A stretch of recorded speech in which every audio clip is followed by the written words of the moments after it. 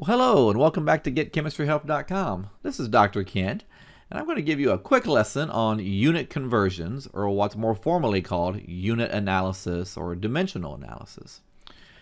Now, now you've been doing unit conversions all your life. I'm sure on a regular basis you convert feet into inches, or hours into minutes, or days into hours, or things like that. But I want to show you a more formalized, kind of a stepwise method that'll really help you out as you get into more complex unit conversions. So first off, we got to know what is the conversion factor. Well, conversion factor is just a ratio that specifies how one unit of measurement relates to another unit of measurement. And again, I'm sure you already know lots of these. For example, you probably know one minute equals 60 seconds, or you probably know one foot equals 12 inches, one hour equals 60 minutes. One day equals 24 hours. Maybe you know one gallon equals four quarts. So there's lots of these conversion factors. But as we said, these are ratios. So for one minute equals 60 seconds, I could write that as the ratio one minute per 60 seconds. But it's also true that I could flip it and say there's 60 seconds per one minute. And that's true for any conversion factor because conversion factors always come in pairs. So example, I could say one foot per 12 inches, or I could say 12 inches per one foot. Now the method again that we're going to use to convert between units is called the unit analysis method. And it's just a stepwise process and it basically has three different steps that I want to show you.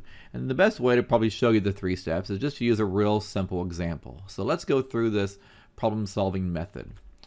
So our simple example is how many seconds are in 3.55 minutes. So step one just says, okay, identify the known quantity and identify the units of the new quantity. Okay, so what's the known quantity? Well, the one I know are 3.55 minutes. So I'm going to write down what I know. I know 3.55 minutes. And what do I want to know? What are the units of the new quantity I'm trying to find? Well, again, I'm trying to find seconds. So I'm going to put seconds over here. So I'm trying to get from minutes into seconds. Okay, step two says, multiply this given quantity by a conversion factor, could be one, could be more, so that the units cancel and leave you with the units you desire. Okay, so we just said that one minute equals 60 seconds. okay, so I need to set that up so that the units will cancel. I can get rid of minutes and put it into seconds. Okay, that conversion could be written one of two ways as a ratio. I could write it one minute per 60 seconds, or I could write it 60 seconds per one minute. Well, if that factor has to go in here as a ratio, if I want minutes to cancel and leave me with seconds, which way will it have to be? Will have to be the way on the left or the way on the right. Okay, well, if I want minutes to cancel, minutes will have to be on the bottom. So it's going to have to be this variation right here. So it's going to have to be 60 seconds on top, one minute on the bottom. And now you can see minutes will cancel. If I had used this conversion factor, I would have had minutes times minutes divided by seconds. I would have got some crazy unit like minutes squared per seconds. So since I was starting with units of minutes on top, I had to have those same units on the bottom of the conversion factor. Okay, so step three says, now that I've got it set up, I just want to go ahead and punch in your calculator and perform whatever operations are indicated. So in my case, it's 3.55 times 60 divided by 1. So I put that on my calculator and I got 213 seconds. There you go. So I just converted 3.55 minutes into 213 seconds. So one unit to another.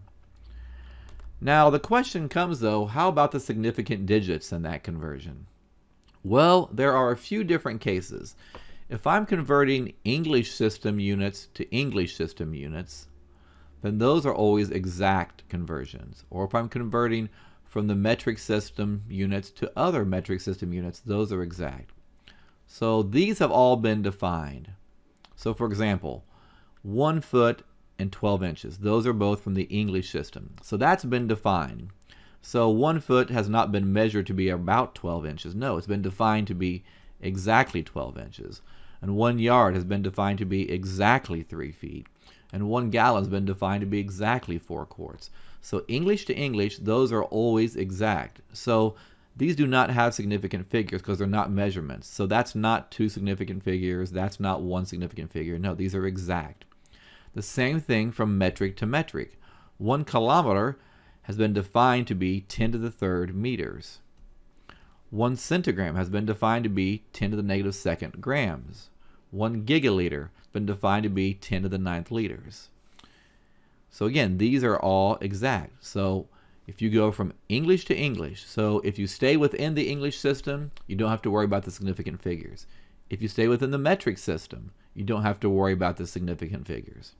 But if you want to convert between English and metric, that's where we have to consider significant figures.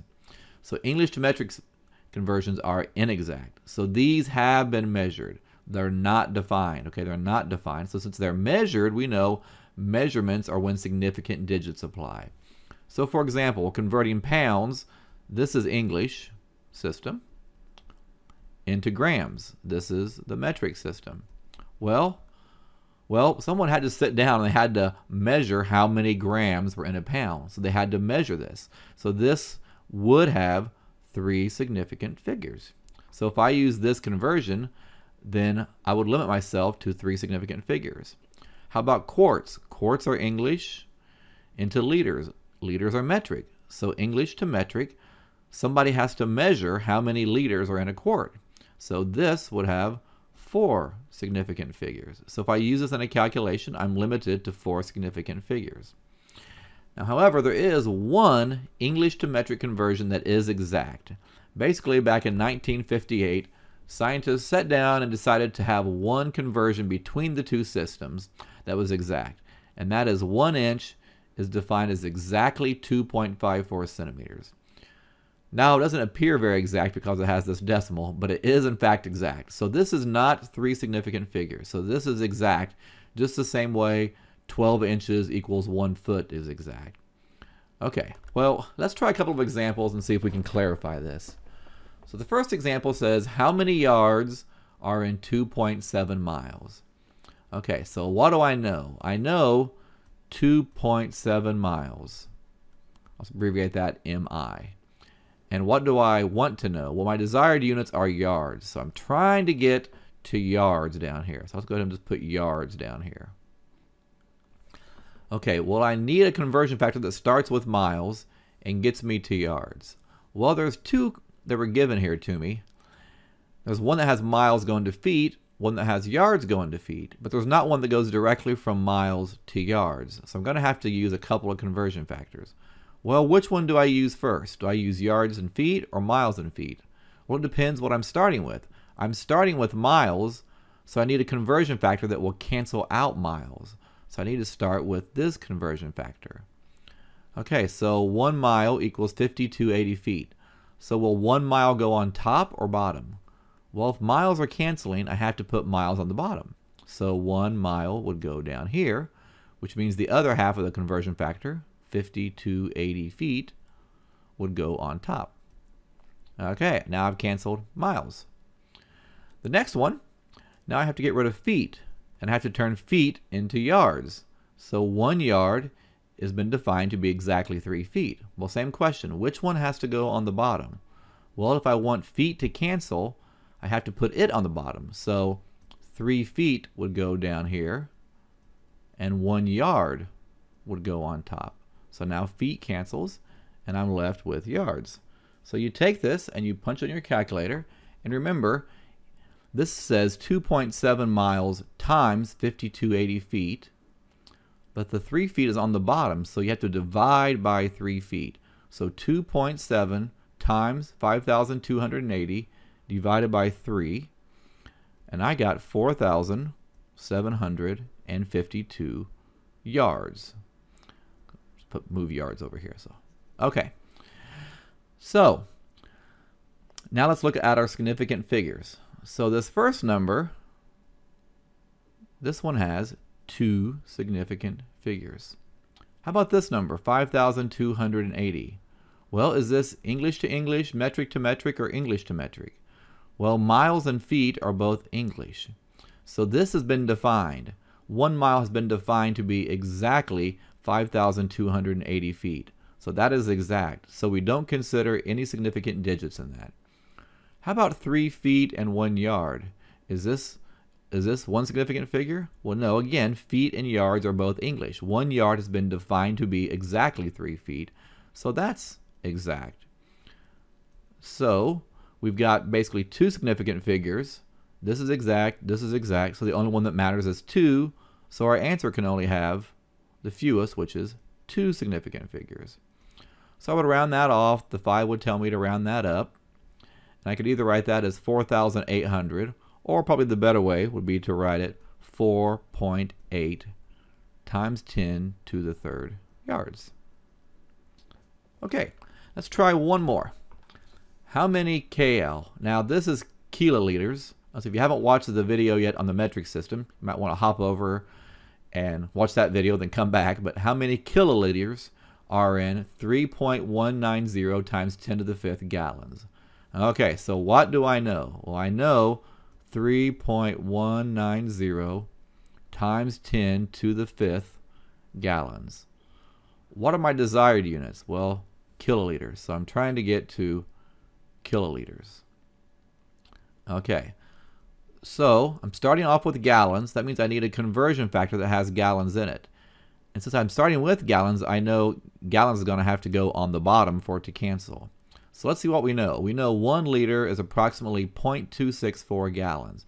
Okay, so 0.264 gallons would go on the bottom, which means the other part of the ratio, or the factor, would go on top. Good. Now we got rid of gallons. Now I need to go from liters. I'm trying to get that into kiloliters. So liters is going to have to go on the bottom to cancel. So we look here.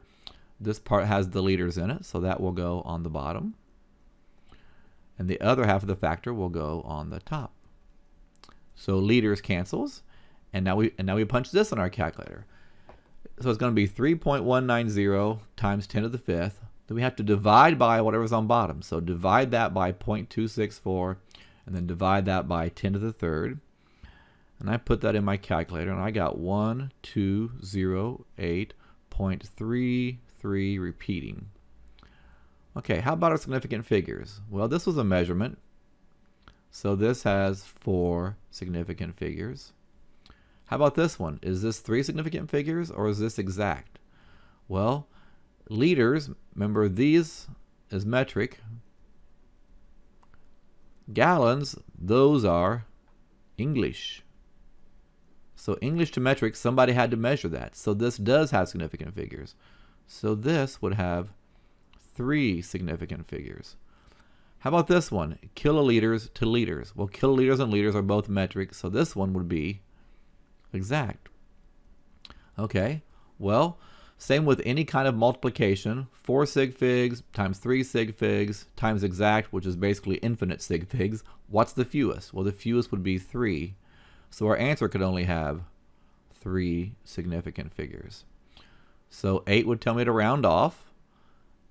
And probably the best way to write that would be 1.21 times 10 to the third kiloliters. So that again has three significant figures. Well, I hope you enjoyed this lesson on unit analysis.